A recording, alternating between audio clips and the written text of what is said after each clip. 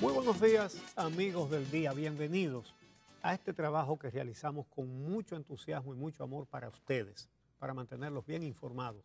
Muy buenos días, Edith Febles, ¿cómo te amanece? Muy bien, muy bien, muy buenos días, Uchilora. Buenos días para todos ustedes, qué bueno que estén acompañándonos esta mañana. ¿Qué tal, cómo está usted, Uchi? ¿Qué tal su día de ayer? Bien, bien, gracias a Dios. Trabajoso, ¿verdad? ¿Se leyó el expediente una parte? Sí, una parte, porque eso es largo. Es amplio. Pero tengo para comentar tres grandes tumbes eh, fundamentalmente con combustible.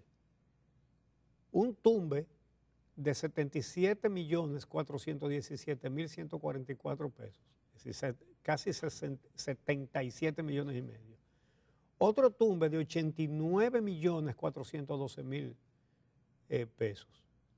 Y un tercer tumbe de 128 millones 846 mil 657 pesos. Es decir, un tumbe de 77 millones y medio para redondear, otro de 89 millones y medio y otro de 128, casi 129 millones.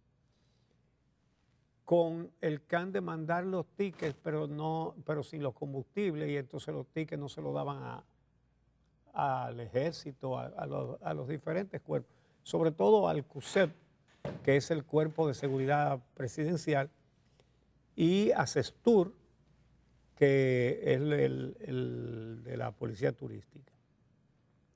Le enviaban los documentos, los conduces los firmaban, pero eran conduces sin las mercancías. Eh, así que hay esos tres grandes tumbes y vamos a dar detalles de cada uno de ellos. Ayer dimos del primero algunos detalles, así que lo mencionaremos brevemente y luego entonces eh, veremos los otros dos tumbes que fueron más grandes. Para hablar en ese lenguaje, pero en el día de ayer, eh, perdón, de, de anteayer,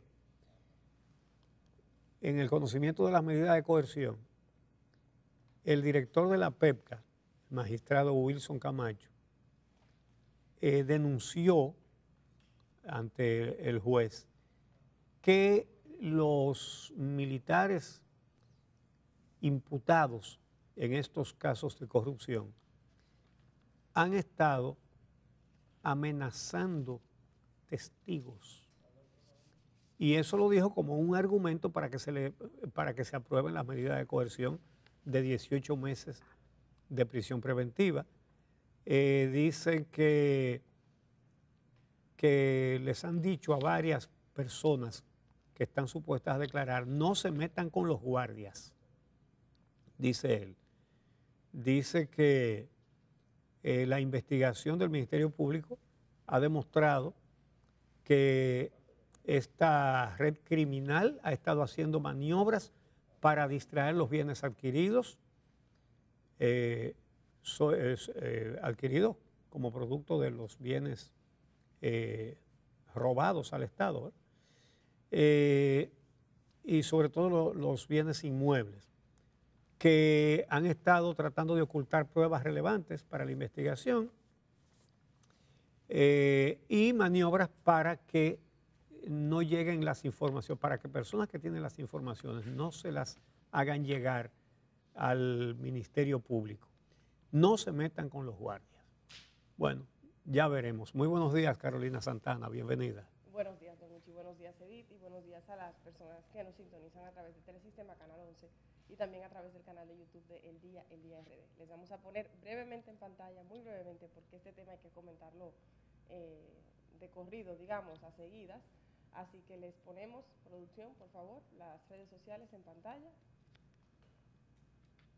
arroba Uchilora las voy diciendo en lo que producción identifica la imagen que utilizamos con frecuencia diaria, ahí está, arroba Uchilora, Uchilora guion bajo, Edith Febles, Edith guion bajo Febles, Caro Santana S en ambas eh, plataformas en mi caso, el día RD para el programa igual en YouTube. Déjenme saber si todo en orden eh, por parte de producción. Yo creo que Creo que no me escuchaban, no estoy segura. bueno, Pero está bien, yo creo que mucha gente se la Se la sabe. ya. sabe además ¿no? con la imagen basta. Exacto. Bueno, eh, ayer mencionamos el primero de los tres grandes tumbes, de, eh, fundamentalmente de combustible, por 77 millones 417 mil 144 pesos. Casi 77 millones y medio de pesos. Entonces, eh, cómo hicieron, eh, constituyeron compañías para eso. Eh, en todo eso está relacionada la pastora Rosy Maybelín Guzmán Sánchez. Baila en todos los boleros que hay ahí. Entonces, eh, hablamos de la jovencita de 18